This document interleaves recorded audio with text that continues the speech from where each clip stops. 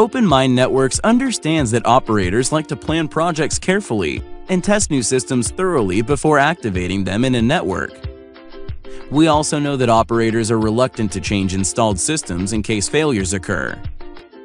This careful approach has many benefits and is why billions of people can rely on high-quality mobile services every day. In contrast, internet companies like Google and Facebook do things differently. They work in short timescales. They develop, test, and deploy software in a continuous process. They monitor how consumers use their services and make constant changes to improve user experience and enable revenue generation opportunities. Increasingly, internet companies compete directly with mobile operators, and their faster way of working allows services like WhatsApp to completely outperform equivalent operator services like RCS.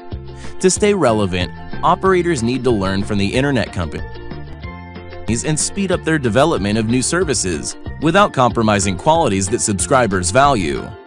At Openmind, we have taken the best aspects of the Internet Agile development model and applied that to a new continuous delivery process for our operator customers. By tightly integrating development, test and operations teams, and by using automated tools, we can deploy our latest software continuously into live service at customer networks. In this way, our customers are kept up to date with the latest features and security patches.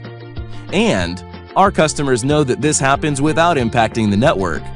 To learn how our DevOps process can transform your messaging business, visit us today at www.openmindnetworks.com.